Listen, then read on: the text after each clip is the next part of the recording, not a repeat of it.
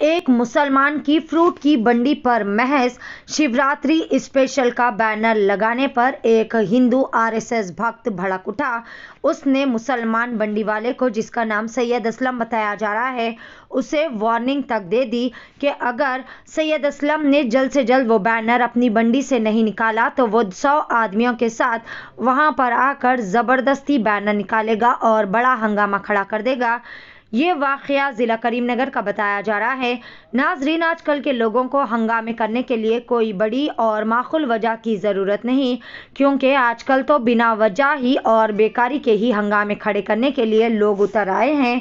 मामूली से बैनर पर शिवरात्रि स्पेशल लगाने से ये शख्स इतना भड़क उठा और सड़क पर बड़ा हंगामा खड़ा कर दिया। इतना ही नहीं, बल्कि उस शख्स ने ये भी कह डाला कि अगर फ्रूट वेंडर को चाहे तो वो असदुद्दीन ओवैसी का बैनर लगा ले, लेकिन इस तरह शिवरात्रि का बैनर ना लगाए। इस वाक़े से कुछ देर के लिए सड़क पर हलचल देखी गई। आइए देखते हैं इस मौके के चंद मनाजिर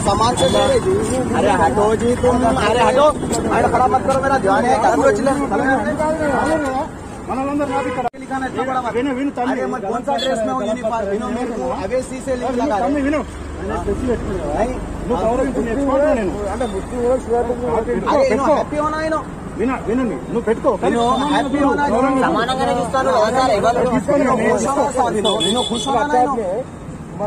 నేనేమంటున్నా నువ్వు అది మేరకు సమానంగా సార్. मेरे को सबसे कुछ लेना देना है साहब గౌరవంగా చూడు గౌరవంగా చూస్తారు కదా సార్ మీరు అత్తే మనం మీకు అన్నారా గౌరవంగా చూస్తారు కదా గౌరవంగా చూడకుండా अरे गलत बात क्या बोला ఇది अरे नहीं సమానంగా ఉండాలి సమానంగా ఉండాలి वाले परमिशन मिला है बीजेपी वाले मैं ये बात से आज ठहरे हुआ हूँ ये बात से मैं लगाया हैप्पी शिवरात्रि नहीं, नहीं, विनो, बंदी विनो। संजय अन्ना आगे बात करने से हम यहाँ कारोबार कर रहे हैं। ये हमारे को मालूम है हम लोग बीजेपी के सपोर्टर से आपके सरकार ने हमारी बीजेपी हूँ तेरे को मालूम ये बात तो अवेसी से कैसा बोल रहा अरे अवेसी से मेरे को क्या लेना देना हाँ जी, अवेसी से అవేసీ से कनेक्शन नहीं है నేను చెప్తాను నాకు కష్టం అవుతుంది मेरा कुछ है नहीं है ना अरे शिवरात्रि। बात से हैप्पी शिवरात्रि शिवरात्रि అని वाला పెట్టుకున్నాం. बता रहे हैं। మా పనులను మీది వేరే మాది వేరే అంటారు సమానంగా చూడాలి అంటున్నాను. मैं नहीं नहीं रुक के मेरे बात हो रही है హ్యాపీ శివరాత్రి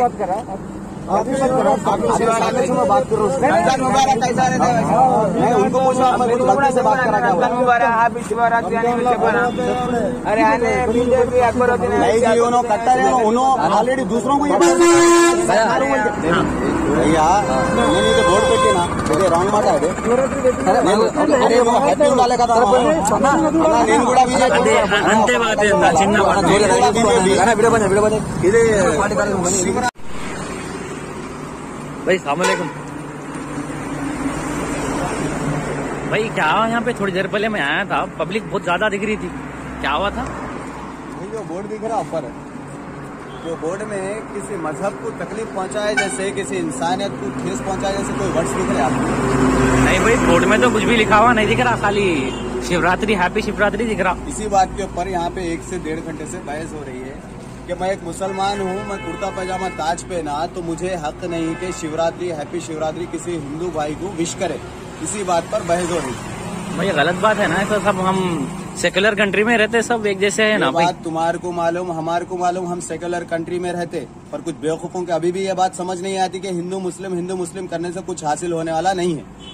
अच्छा सही बात है भैया आपकी ये बात। मैं एक मुसलमान होके शिवरात्रि का एक फ्लेक्सी लगाया तो इससे एक हिंदू को आपत्ति हो रही ये मैं पहली बार देखा। मैं मुसलमान हूँ इससे उसको खुशी होना कि एक मुसलमान हैप्पी शिवरात्रि बोल के लगाया तो उसके मज़हब के मैं उसके मज़हब के लोगों को विश कर रहा हूँ तो इस बात से उसे खुशी होनी चाहिए। बल्कि उसे तकलीफ़ है कि एक मुसलमान उसे विश कर रहा है। सही बात है भाई गलत बात है वो। भाई नाम क्या है अभी आपका? मेरा नाम सैयद असलम है। हाँ। मैं निजामाबाद का रहने वाला हूँ। करीमनगर में कोर्ट के एरिया में कारोबार करता हूँ सेवन हिल्स पे। भाई कितने साल से कर रहे हैं यहाँ पे कारोबार साल से। पाँच साल हो गए आपको? पाँच साल से कारोबार यहाँ पर कर रहा हूँ। ये हाँ। परमिशन दिलाने पे हमारे पास परमिशन लेके आने के बाद उसके बाद कारोबार करें तो उस खुशी में हम लोग हैप्पी शिवरात्रि का बोर्ड लगाए कि ईद की परमिशन है हम लोग को। एक फेस्टिवल है हिंदुओं का। इस वजह से हम लोग को परमिशन मिली शिवरात्रि की वजह से। ये फ्लेक्सी का मतलब वही है।